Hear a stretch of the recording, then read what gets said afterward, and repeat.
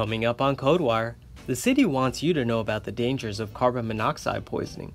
Stay tuned to learn about how you can protect yourself and your loved ones. Next, spring is coming up, and Code has a few spring cleaning tips. Then, South by Southwest is approaching. Have you registered your short term rental? We'll tell you how. And finally, Austin now requires you to register your boat dock, but the reason may surprise you.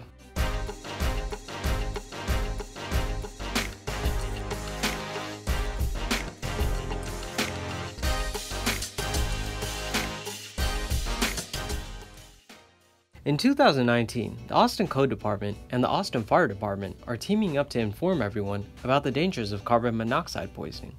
Over 10,000 injuries happen each year, so the city is reminding you to make sure you have a working smoke alarm and a carbon monoxide detector in your home or apartment. You can test them out each year by pressing the test button and make sure the batteries are working. Check out our other videos on our YouTube channel to learn more. The spring season is coming up, and Austin Code is here to remind you that a clean city starts at home, so make sure to trim off any damaged branches from your trees. Place your yard trimmings at the curb by 6.30 a.m. on your collection day, and throw away any signage lying around your property. Learn more spring cleaning tips on the Austin Code's Facebook, Twitter, and Instagram pages. South by Southwest is coming up, so don't forget to apply or renew your STR operating license.